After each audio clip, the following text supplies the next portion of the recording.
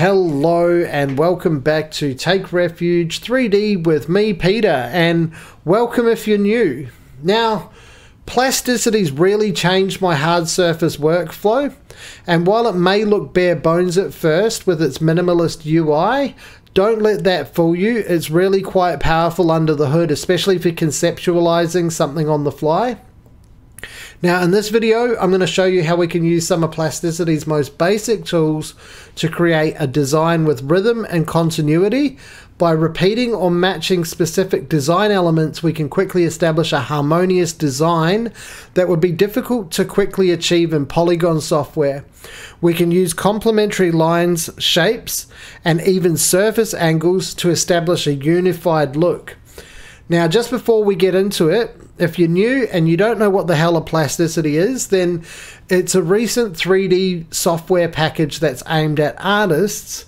But the twist is that it's running on a powerful engine called Parasolid, which is predominantly up until now used in the engineering side of 3D modeling. Now, this allows you as an artist to harness that power and it's packaged in a way that, for me at least, is just bloody intuitive and palatable to use. Now, if you want to follow along, you can get Plasticity free for 30 days. Just go to the website linked below, download it, install it, all of that. And then after your free month, if it's something that you want to stick with, you can use my discount code REFUGE10 for a 10% discount on either the studio or the indie license. So let's crack into it. Now, all good designs come with sacrifice, and that's sacrificing the default cube. Now what we're going to do, press 1 on our numpad to come into front mode. I'm going to grab this corner rectangle from here, and I'm going to take it to our origin point here, and I'm just going to start dragging it uh, to the bottom right, and I'm going to press C to uh, turn it into a center rectangle. Now this is way too big, so I'm going to scale this by 0.10. Scale, scale, 0.1.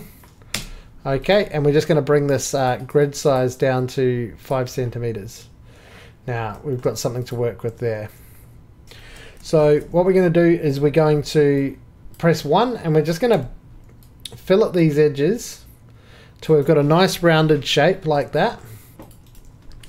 Okay, and then we're going to press 3 and we're just going to pull that across and we're going to press tab and we're going to get it roughly that shape here. Now, we're going to pull a, there's, I mean, we could get into some complex surfacing and stuff, but I want to keep it pretty basic today. So what I want to do, we'll select this face here. We're going to press Shift S to convert this into a spline. Okay. And then we'll do that a couple of times. We're going to go into just point mode only up here and select these ones up the top here and bring them forward. And we're just going to select these bottom ones and we're going to bring them backward to give this a little bit of curvature. Now what we can do is we can now go into pressing F and type in toggle and we've got toggle points. I've got that set to Z. Okay, you can right click and change shortcuts. Uh, and I'm just going to toggle those points off. So now we've got a little bit of shape. I'm going to isoparam this across like so. Now, we're starting to get a shape here. Now, the first thing is, is we've got a bit of curvature here. I want buttons down here. So let's just make some buttons. Let's make a, actually, let's first of all select this face, press shift space. Okay, I'm to get rid of isolated mode. I don't know why that is. We've got our temporary construction plane. I'm to click on that once and I'm to double click it so we go into our temporary construction plane mode. Okay, we're to take a corner rectangle and we're to roughly put it in the middle of this um, here. Okay, and what we're to do, we're just to pull that out like that. We're going to go back to our custom plane and we're going to mirror it along the x-axis. Actually, we might just drag that one by hand. G down like that. Shift D, drag it down like that. And then we're going to select both of these and mirror it on there. So we've got nice four buttons.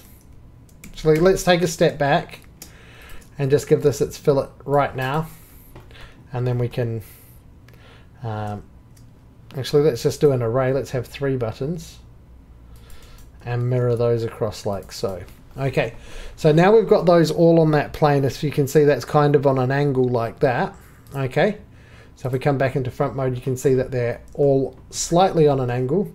Now we want to press 4 to go into body mode, press Q and just drag across like that. To get rid of those, we can get rid of that curve. And now what we want to do is we want to offset these, go back into our custom plane, and we can select all of these, and we can Shift D to make them all individual faces, and then we can thicken the sheet out like that. But you might see that they're not really coming out how they should. So what we want to do now is we want to grab these and we just want to offset them back in this direction and select this face and they all match that um, there. Now I feel like they're a little bit um, not buttoning, buttoning enough so we'll just select these loops here and SS 0.9 oh actually we'll just select one of these and we'll just start pulling these in like that. Okay so now all of these buttons this is our first thing. All of these buttons are conforming to the face of here. So we can do whatever we like with them. Now what I want to actually do with this is on this plane, while we're in this custom plane, I want to S, Z, zero them out. Okay, and then I want to shift S twice just to give them a little bit of uh, curvature on these buttons to give them a kind of rubbery kind of um, and then we should be able to pull those out like that. And then what we want to do we'll just give these all a fillet. Alrighty. And I want to make that G2 if I can. Might take a little while. Okay, there we go. So we got our buttons, and the reason that we duplicated those is because if you want to texture this later on and bake your AO maps, you really want these to be separate objects at the time that you bake them as AO maps. Okay, so just a little bit of forward thinking. Now the second thing is, is we can use lines um, to define our shape language. So what I'm going to do now is I'm going to start and I'm just going to make a chamfer here like that. Okay, so we've got this shape starting to make face. We'll bring this in a little bit. We'll get rid of our custom plane. We don't need that anymore. As you can see, the buttons conform to that in a curved way, uh, not just on a flat plane. And so now we've got this, we can give these all a slight bevel as well, just so we can get a nice, don't know if I want to go with a chamfer or a bevel here. All right, and then we, same thing here, S, Y, 0, and we'll just subdivide that a couple times and just give a little bit of curvature. There's better ways to get a curvature on this, but just for this, just giving this a little bit of curvature, and we'll just toggle all of these points off. Okay, so just checking our... Yeah, we're starting to get a nice shape here. Okay, now we can try and bevel this here or fillet it. And that's quite nice. But let's do something else. Let's select this whole loop and let's do a pipe. Okay.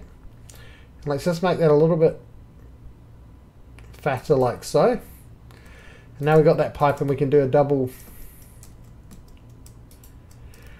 Let's make it a little bit fatter than what we just had there. As you can see, if you just press P and press P for pipe, we're getting that, um,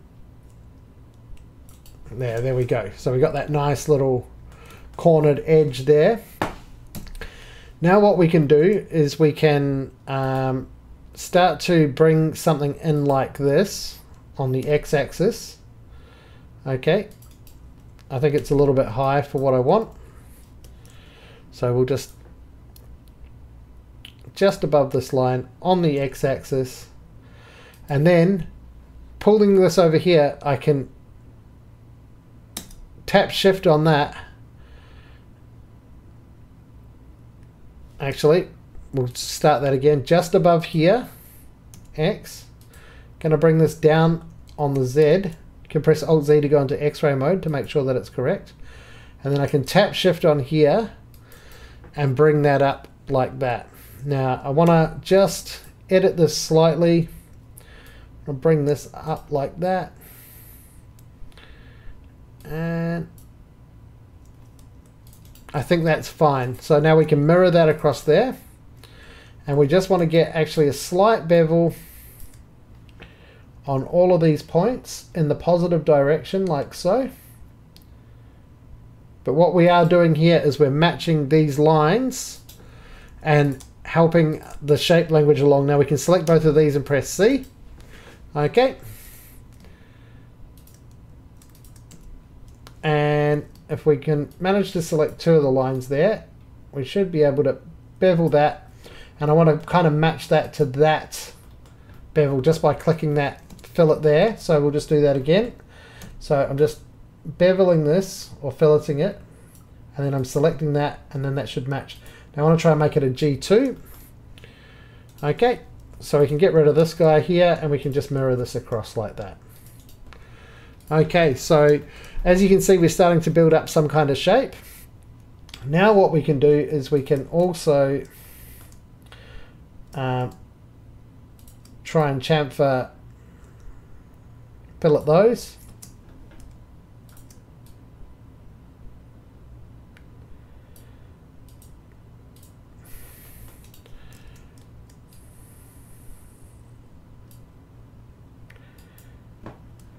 All right, and we'll just mirror this across. All right, so we're starting to get a nice little shape here. So as you can see, we've just used some really, really basic tools. And then just for the back of this, we can maybe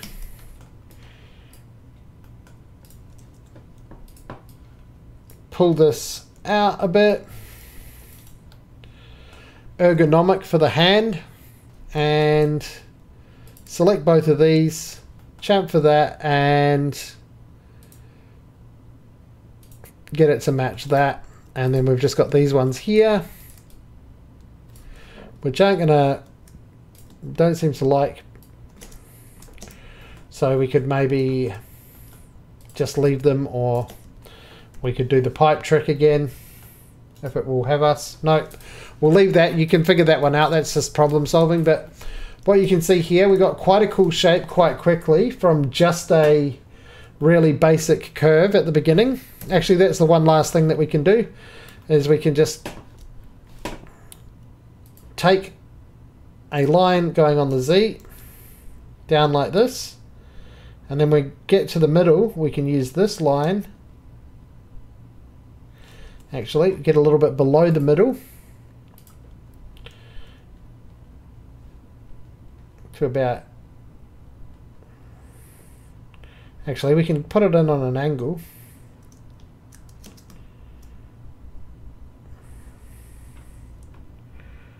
And then we can use this line here to come out the bottom. And then we'll just press 1 give this a nice long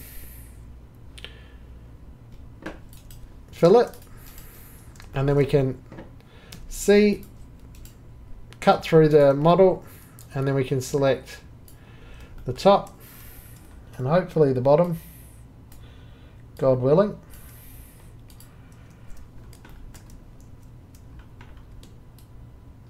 Alright and we can just give that a nice chamfer and match it to those as well. So that just sort of breaks up the so like I said at the beginning we're creating a little bit of harmony in the shape language. So as this comes down straight, it then also joins this curved shape on the long way down there. All of these buttons are flush with the curve of the object and we're getting matching shape language. So this is very, very simple. This is basic stuff, guys, but as you can see from just a curve and in just a few minutes, we were able to really establish we've gone from that to that in 10 minutes and I think that's really cool and that's why I love plasticity so much because in Blender for me to do something like this there's things that Blender is very, very good at that I can't do in plasticity.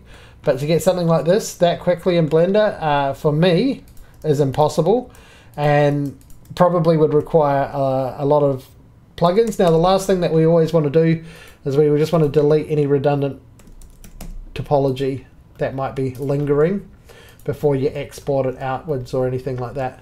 So just a real quick one, guys. Um, thanks for watching. Um, I'm going away for a couple of days, so uh, there'll be more content next week. Um, and uh, see you in the next one. Cheers.